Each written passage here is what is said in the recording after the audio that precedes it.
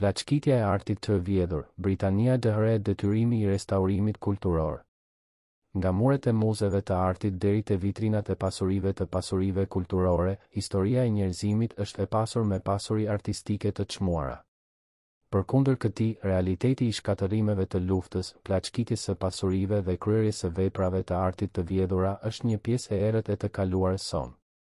Ndër shekuj, shumë prej këtyre veprave kanë përfunduar në duar të të huajve.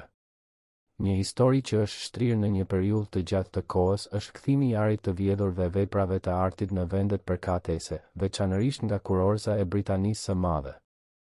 Britania e Madhe, si një prej vendeve të civilizuara dhe të pasura me trashëgimi kulturore, nuk është përjashtim nga ky fenomen.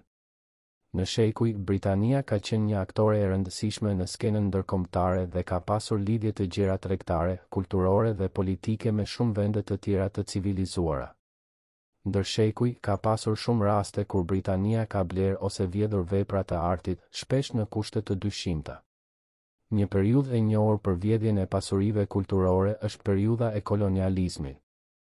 Kur Britania dhe vende të tjera të fuqishme koloniale përhapën pushtetin e tyre në kontinentet e tjera, ata kryen dhe vjedhin shumë artefakte dhe vepra të artit nga kultura të ndryshme, shpesh pa kujdes dhe pa respektuar trashëgiminë kulturore të popujve të tjera. Këto vepra të artit janë transportuar në Britani dhe në muze të ndryshëm, duke përfshirë Muzeun Britanik, Muzeun Kombëtar të Britanisë dhe Galerinë Kombëtare të Arteve. Megjithatë, gjatë viteve të fundit është rritur ndërgjegjësimi ndërkombëtar për nevojën e kthimit të pasurive të vjedhura dhe veprave të artit në vendet përkatëse.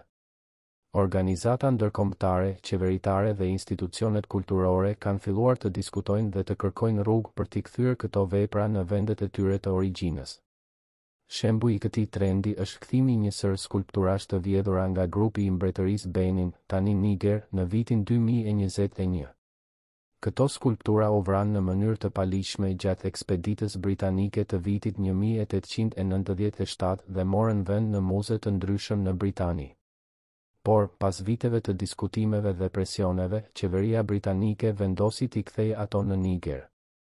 Ky veprim shënon një hap të rëndësishëm drejt restaurimit kulturor dhe respektimit të kulturës së popujve të tjerë.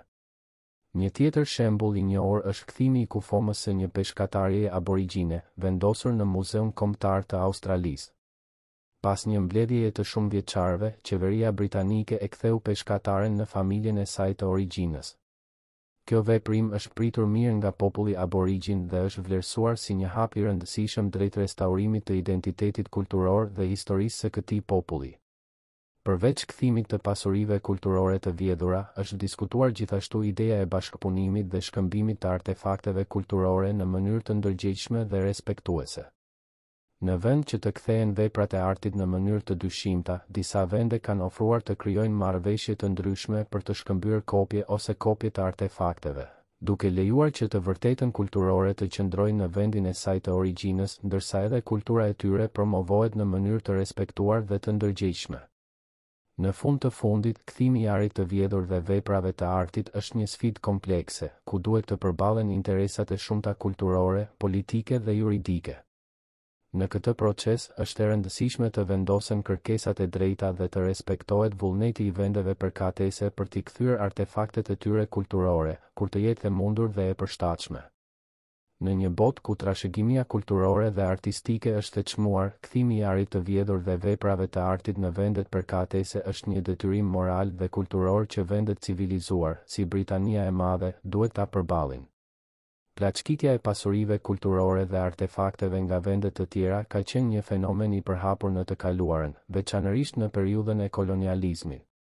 Kjo praktikë ka krijuar një deprivim të dukshëm të trashëgimisë kulturore të vendeve përkatëse, duke çuar në humbjen e identitetit të tyre kulturor. Britania e Madhe, si një vend i civilizuar me një pasuri të madhe kulturore, ka një detyrim moral për të përballuar këtë çështje.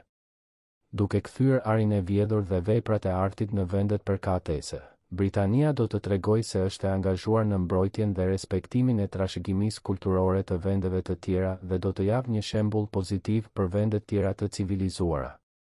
Me përpjekjet e vazhdueshme për të rikthyer artefaktet e vjedhura në vendet e tyre të origjinës, shpresojmë që të shohim një botë më të ndërgjegjshme dhe të kujdesshme për trashëgiminë kulturore të të gjitha popujve.